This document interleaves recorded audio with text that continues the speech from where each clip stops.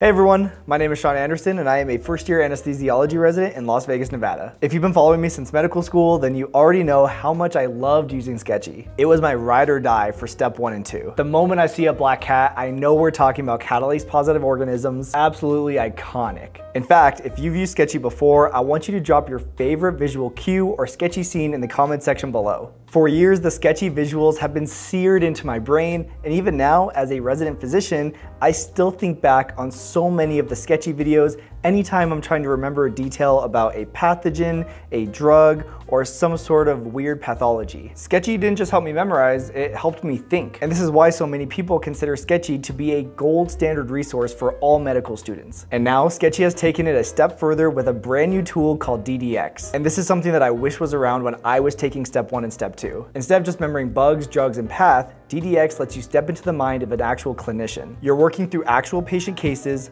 full vignettes with vitals, labs, and histories, and then you're building a differential and getting instant detailed feedback. So you actually get to take what you learn from these iconic sketchy scenes, the cats, the red robes, the chocolate agar, and apply them to patients. Sketchy DDX bridges the gap between memorization and clinical reasoning and is the exact kind of tool that you need as you prepare for step two or go into your clinical rotations. So today I've actually partnered with Sketchy to show you exactly how DDX works, what it looks like in action, and how you can try it today for free.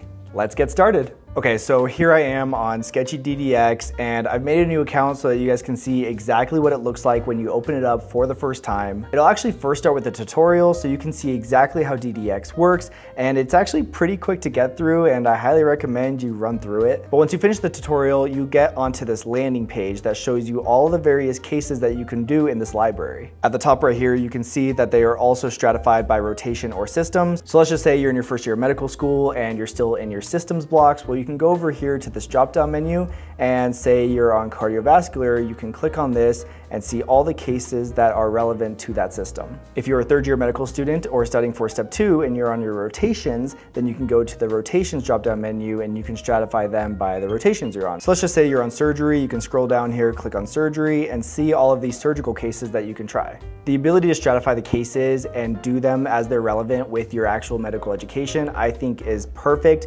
And again, I think that cases are the perfect bridge between memorization and clinical reasoning. In fact, for step three, you have to do a lot of cases. And I remember while I was doing them and practicing the various case scenarios, I would see things in cases, go back and do practice questions, and get questions right because I saw them in the cases. That actually got me thinking about why we don't do more case-based learning throughout medical school, and then Sketchy just happened to come out with this feature and ask if I wanted to partner up, and that's why I was so stoked about it. So again, guys, this is a brand new account. As you can see, there are already a bunch of cases here and Sketchy is still pumping out new cases. So as you work through them, new ones will come up. And again, I just think this is such a cool tool.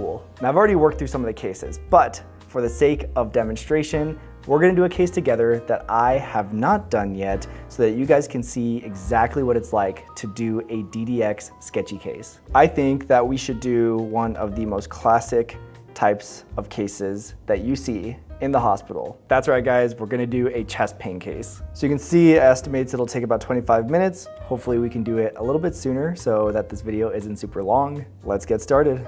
All right, we got Michael Jones, a 52-year-old male with chest pain, and we're given some vitals right here. Looks like he's a bit on the hypertensive side. He's setting well, no fevers. So the only thing that really stands out here is the blood pressure. We'll press start case and let's get rocking and rolling. So first is gonna ask us to take a full history for Michael Jones. In addition to the presenting issue, make sure to ask questions about past medical, surgical, family, and social history. All right, we've got the text prompt here and Michael says, hey there, I've been having some chest pain recently. And I'm going to say, how long has the pain been going on? It's been a week since it started. All right, let's ask him what were you doing when it first started? I was rushing around during a business trip to New York. Okay, sounds good. Well, we can say, has the pain been constant or does it come and go? All right, it says it comes and goes usually during physical activity or when I'm stressed. And as you can see, we got this gold star that says key finding exertional chest pain. And we have a gold star up here, which means that we have gotten one of the seven key findings for this case. So We got a few more to go. So let's do our OPQRST. I think that's the best approach. So we did onset a week ago. We did provocation, which is physical activity. Q is quality. So how would you describe the pain? It's heavy, tight pressure in the center of my chest. Okay, so that's, that's pretty important. Does the pain radiate anywhere? All right, we got another key finding. It radiates to the left arm. Now let's go to the S, and that is severity. So how would you rate the pain on a scale from 1 to 10? It's about a 7 at its worst. Okay, and then timing, we've already kind of done timing as well. Do you have any other symptoms? Been having some chest pain recently. Okay, so already do that. So he's not saying he has any other symptoms, any nausea or vomiting. No nausea or vomiting. So now when you've asked enough questions that don't give you a key finding, it's gonna ask you if you want a hint. So let's go for a hint. It's down here right next to the text bar. During the conversation, see if there's any mention of past medical issues related to blood lipids or cholesterol. So that's a good prompt to have us ask him about his past medical history. So what kind of past medical history do you have? And that actually got us two key findings. So we got the hypercholesterolemia and the history of hypertension. So let's ask him what medications do you take? He takes hydrochlorothiazide and atorvastatin. Had a heart attack before. This might be redundant from that last, but can't hurt to ask. All right, never had a heart attack.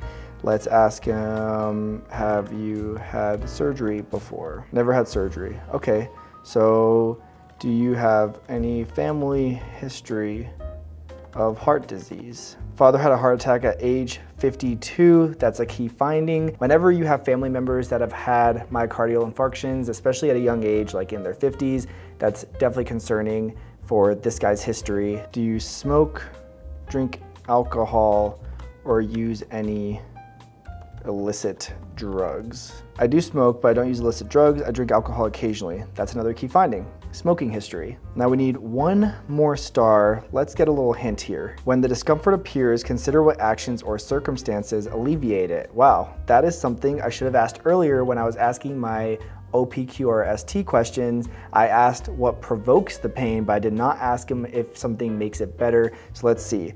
Does anything make the pain better or worse? Honestly, this is kind of fun. It feels like I'm literally playing a game, and this is what it felt like when I was studying for step three cases. As you guys can see, I got the final key finding, and his pain eases up with rest, which again is very concerning for something that is cardiac in nature. So let's move on and get through more of this case. So now we have a physical exam. So he's in no apparent distress, he's resting comfortably, He's got a normal HENT exam, chest exam is normal, cardiac, regular rate and rhythm, no murmurs. He's got good pulses.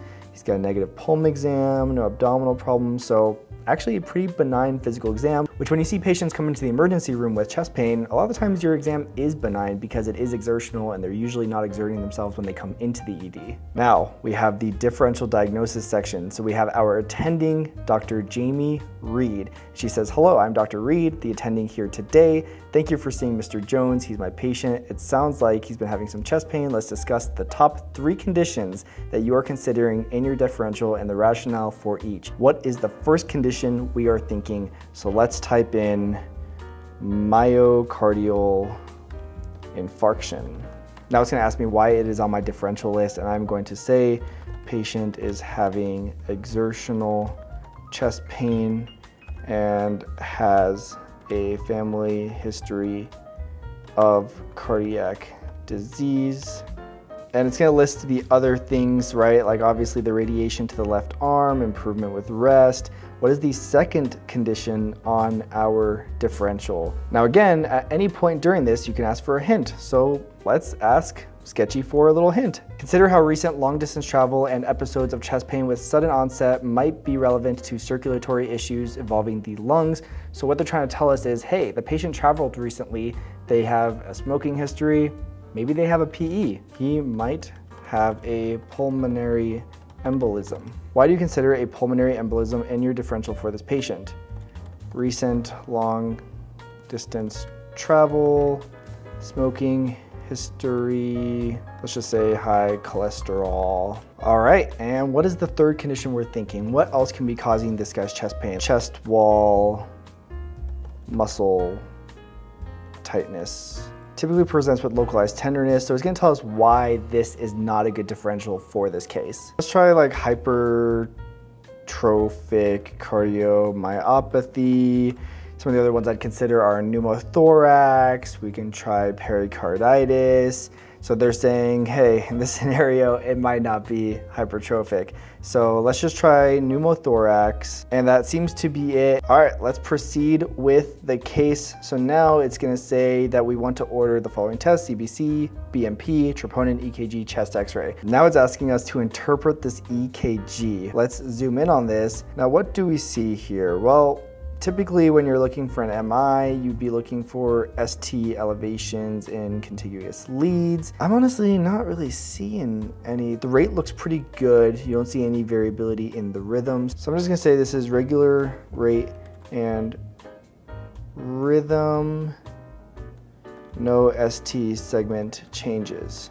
And we got it. No ST changes, normal rate, regular rhythm. Let's move on. So the nurse says, hey, I'm Jay Clark, the nurse for Mr. Jones. He's starting to have some chest pain. Can we go and check him out? The plot thickens. We still have the EKG machine hooked up and we have a new one now. And let's see if there's anything new. Yep, yep, those are some new findings. Look what he's got over here in V2, V3, and V4, which is very concerning.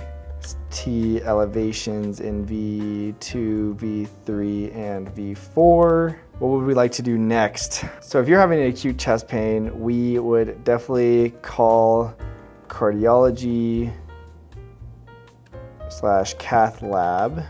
Get in touch with the cardiology team or at the cath lab. What else would you like to do for the patient? So let's try Monabash. Let's give the guys some pain medications, morphine, aspirin, oxygen, uh, nitro. All right, so we got two stars, pain control and antiplatelet therapy. All right, for the sake of time, we'll just move forward to the questions. So this is also a brilliant part of cases is that it actually tests your understanding. So it's saying you had ST elevations in V2 through V4, so what does that mean? Now, if you remember from step one, these leads will look at the anterior wall, which is supplied by the left anterior descending artery gives you some explanations here. Let's move on. This question is asking what heparin does, which we know is antithrombin 3 if you've been watching your sketchy videos. Now this question is asking about complications three days after and is saying that he's hypotensive, tachycardia, and has a new holosystolic murmur. What could be going on? Let's go with I don't know, acute papillary muscle rupture. Now we get this question wrong, but the brilliant part is it reminds you on all of these questions what sketchy video this information can be found in. That way you can reinforce the visual cues. So once you're done with all the questions, you get a course of care. So you get the entire patient outcome, including the intervention,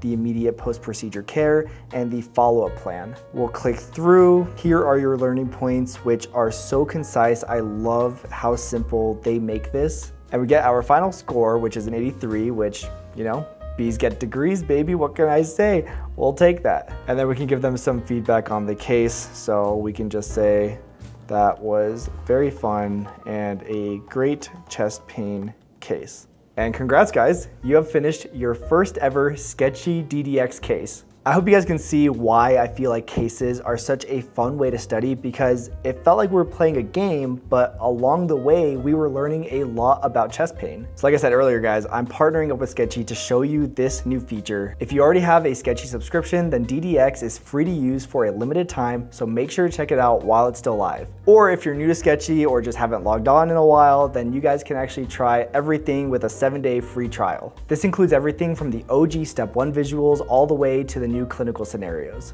You can check out Sketchy and Sketchy DDX by going to the link in my description. Seriously guys, these cases are so much fun. Whether you are studying for step two or just want to get ready for clinicals, I highly recommend checking out this tool. Let me know in the comments if you've ever tried out DDX, as well as which sketchy scene lives in your head rent-free. For me, it's gotta be the Staph aureus scene. That is the OG Sketchy video. I wanna give a huge shout out to Sketchy for continuing to partner with my channel and for sponsoring this video. Make sure to check them out. Sketchy seriously makes med school that much less painful. And thank you all for continuing to watch and support the channel. I appreciate it more than you can ever know. And with that, I will see you guys in the next one.